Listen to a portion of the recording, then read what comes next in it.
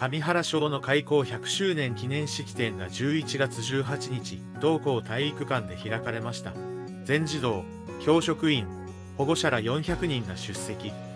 市の流星と共に歩んできた同校の節目と記念すべき年にできた新体育館の完成を祝い6年生が自分たちで考えた上原の将来を発表しました式典は2部構成で行われました一部で100周年記念実行委員会委員長の櫻井智則 PTA 会長は多くの先輩方が育った歴史と伝統ある学校で学んでいることを誇りに思い学校生活を送ってほしい都児童に呼びかけワクワクできる学校づくりをしていきたいと決意を述べました。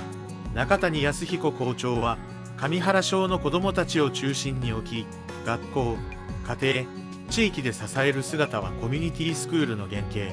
100年の太く力強い歩みに感謝し新たな歩みを作り出していく。と式辞を述べました。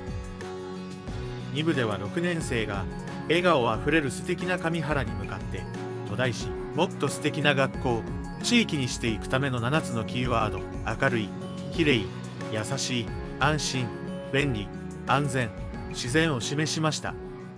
それぞれの観点から良いところと課題を挙げ上原の未来についてどうすべきかを訴えました。全児童が制作に携わった同賞応援ソングの披露もありました。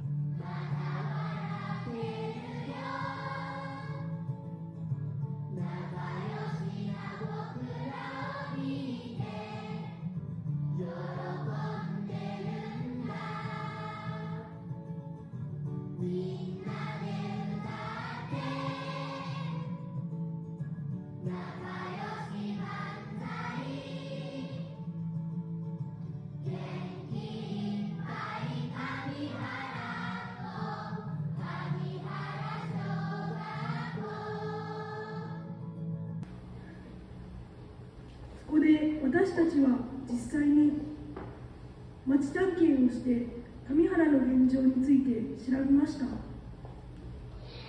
その結果さまざまな問題を見つけることができました。そんな問題を解決した上原はどんな町なのかを話し合い次のようなテーマに決定しました。笑顔あふれる素敵な上原です。素敵なの意味明るいきれい優しい安心便利安全自然の7つの意味を込めました。今からそれぞれのテーマに分かれ調べ考えてきたことを発表します。私たちの考えた笑顔あふれる素敵な神原についてぜひてください。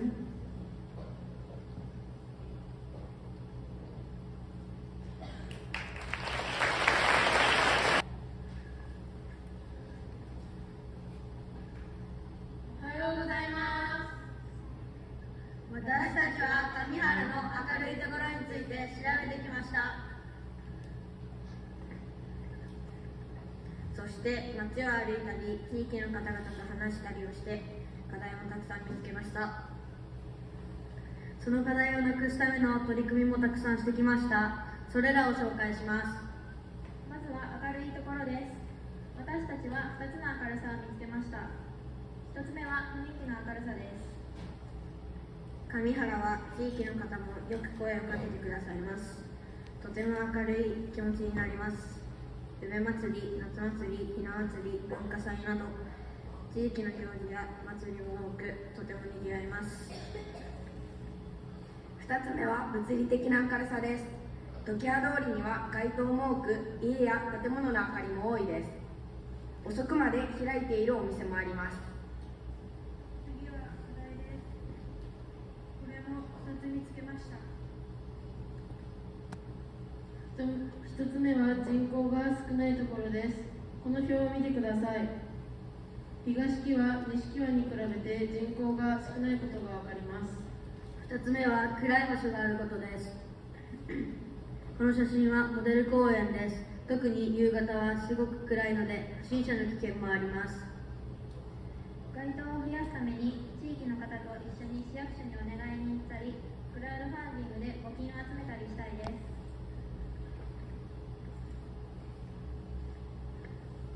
また私たちの理想の上原は動物園や遊園地やショッピングセンターがある町です。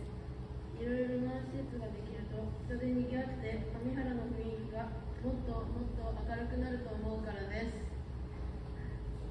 私たちは今の現状をお伝えするためにポスターや PR 動画プレゼンテーションを作るなどの取り組みをしています。上原を明るくしたい